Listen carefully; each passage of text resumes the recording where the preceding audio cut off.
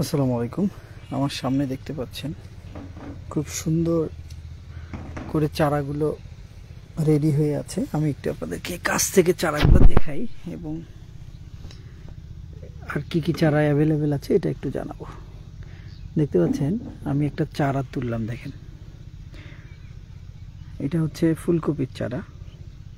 এখানে দেখতে পাচ্ছেন শিকড় হান্ড্রেড পারসেন্ট শিকড় কিন্তু এখানে জড়ায় আছে। আর এই দিকেরগুলো যদি দেখেন দেখেন প্রত্যেকটারই শিকড় কিন্তু একদম হান্ড্রেড পারসেন্ট আছে। এবং চারার গ্রোথ কিন্তু খুব সুন্দর। দেখতে পাচ্ছেন যে, আমি যদি একটু দেখাই হাত দিয়ে, দেখতে পাচ্ছেন এইরকম চারা, এখানে প্রচুর পরিমাণে চারা আছে। আরও একটু দেখাই কয়েকটা আপনাদেরকে। যেখান থেকেই টান দিবেন, দেখবেন যে পুরো শিকড়ে, একটা শিকড় কিন্তু এখানে ছেঁড়া নাই। এই চারাগুলো যদি আপনারা ব্যবহার করেন, এর সুবিধা কি সেটা একটু আমি বলি। তার আগে আরও চারাগুলো দেখাই আপনাদেরকে।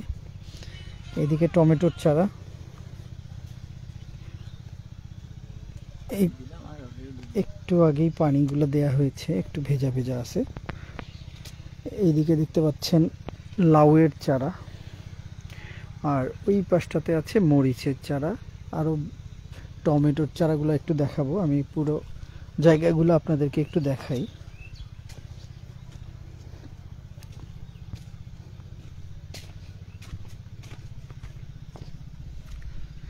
এগুলো দেয়ার এই জার্মিনেশন কেবল আসছে এগুলো হতে আর একটু সময় লাগবে। এগুলো কিন্তু রেডি এখনও ডেলিভারির জন্য রেডি হচ্ছে। এই দিকেরগুলো দেখেন। এটা কিন্তু প্রচুর পরিমাণে এরকম চারা উৎপাদন হয়। আমাদের শুধু রংপুরেই উনপঞ্চাশটা নার্সারি আছে এরকম, যেটার মাধ্যমে আমরা এই চারাগুলো উৎপাদন করি এবং সারা বাংলাদেশ ডেলিভারি করি। আপনারা চাইলে সরাসরি ভিজিট করতে পারেন। পাশাপাশি আমি এই দিকটা দেখাই আপনাদেরকে। পুরোটা দেখাতে গেলে অনেক সময় লেগে যাবে। আমি জাস্ট একটু ধারণা দিই, এখানে ফুলকপি, বাঁধাকপি সব রকম চারা এখন অ্যাভেলেবেল আছে। আমি যদি ওই পাশটাতে যাই, এই যে এগুলো হচ্ছে টমেটো।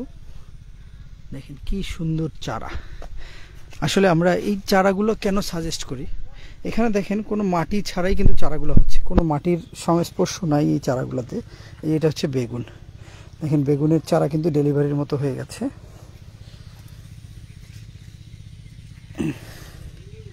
দেখেন, শিকড় দেখেন, ডাল দেখেন। কি পরিমাণে সতেজ চারাগুলো। তো এই চারাগুলো ব্যবহার করতে পারেন আপনারা। কারণ হচ্ছে এই চারাগুলো যদি আপনি নর্মালি মাটি থেকে যে চারাগুলো তোলা হয়, সেগুলো কিন্তু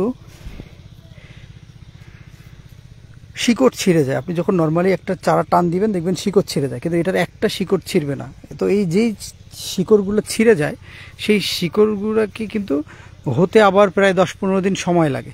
ততদিনে আপনার দেখা গেল ফলন কিন্তু অনেকাংশে কমে যায়। কিন্তু আপনি যখন এই চারাগুলো ব্যবহার করবেন, আপনার কিন্তু ফলনের জায়গাটা দ্রুত হবে এবং ওই চিন- চিন্তা নাই যে হচ্ছে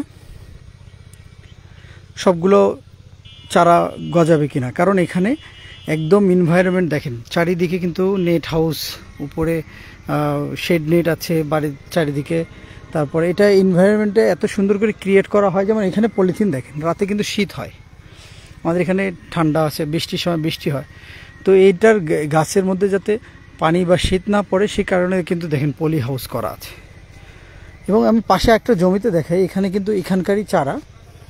দেখেন, এগুলো কিন্তু সব হচ্ছে বাঁধা ফুলকপি। এ দেখেন, ফুলকপির গাছ দেখেন, কি সুন্দর হয়েছে। একটা মিস হয় নাই।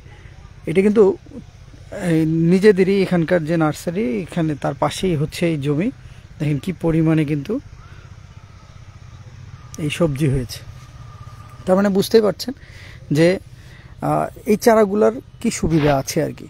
দেখবেন, এই চারাগুলো দিন দিন আরও পপুলার হচ্ছে, কারণ যারা এই চারাগুলো নিচ্ছে, তারা কিন্তু লাভবান হচ্ছে। কেন? কারণ হচ্ছে, অল্প সময় হচ্ছে, কারণ এই চারাটা হইতেই যে সময়টা লাগে, আপনি নর্মালি জমিতে দিলেও সেই সময়টা ধরে আপনাকে যোগ করতে হবে। কিন্তু এখানে যদি ধরেন, বিশ দিন বয়স একটা চারার তার মানে আপনার বিশ দিন আগেই আপনি ফসলটা পাচ্ছেন। আপনি বীজ, কিন্তু, এবং কোয়ালিটি ফুল। এখানে দেখবেন সব বীজগুলাই কিন্তু বিভিন্ন ভালো ভালো জাতের যেগুলো হচ্ছে প্র্যাকটিস করা গাছ, একদম জাতগুলো যেগুলো হচ্ছে নাম করা জাত, সেই জাতগুলার কিন্তু এই ইয়েগুলো হয়। তো আপনারা সিদ্ধান্ত নেবেন যে আপনারা চারা কীভাবে নেবেন। যদি এই জাতীয় চারাগুলো আপনাদের প্রয়োজন হয়, আপনারা আমাদেরকে কল করতে পারেন। রংপুরের আশেপাশে হলে আপনারা ক্যারিং এখান থেকে ভ্যান বা কিছু মাধ্যমে নিতে পারবেন। একটু দূরে হলে আমরা বাসের মধ্যে দিই। আপনারা চাইলে জাস্ট বাসে তুলে দিয়ে আপনি সাথে সাথে পেয়ে যাবেন একদিনের ভিতরে। আমরা গত কয়েকদিন আগে কক্সবাজারেও কিন্তু চারা পাঠিয়েছি। তো এটা বুঝতে পারছেন যে আপনারা যে কোনো জায়গা থেকে কিন্তু চারাগুলো নিতে পারেন। তো কি কি চারা আছে এটা দেখতে আমাদেরকে ওয়েবসাইটে ভিজিট করতে হবে আপনাদেরকে। অথবা আমাদের ফোন নাম্বারগুলোতে আপনারা কল করবেন এবং সারা বাংলাদেশ ডেলিভারি নিতে পারবেন। সবাই ভালো থাকেন। আধুনিক কৃষির সাথে থাকেন। এরকম হিসাব করে আসলে ইয়া আপনার কৃষিকাজে নামবেন এটা আশা করব। কারণ হিসাবেই আপনাদের লাভ লসটা বের হয়ে আসবে। কোন জাত কীভাবে করবেন, এগুলো সিদ্ধান্ত নেবেন। তো সবাই ভালো থাকেন, সুস্থ থাকেন, আল্লাহ হাফিজ।